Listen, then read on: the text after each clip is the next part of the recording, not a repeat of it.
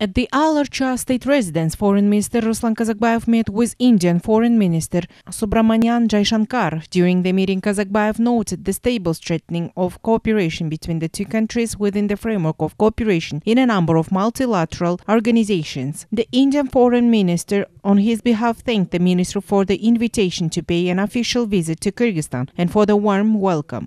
A wide range of issues of bilateral relations and cooperation are on the agenda. It should be noted that diplomatic relations between Kyrgyzstan and India were established in 1992. The bilateral relations between the two countries are based on the principles of equal partnership and interaction that meet the interests of both countries. Cooperation between Kyrgyzstan and India is developing within the framework of such multilateral organizations as the Shanghai Cooperation Organization, the United Nations, the World Health Organization, UNESCO, Interpol, etc. The legal framework includes 62 interstate intergovernmental and interdepartmental agreements.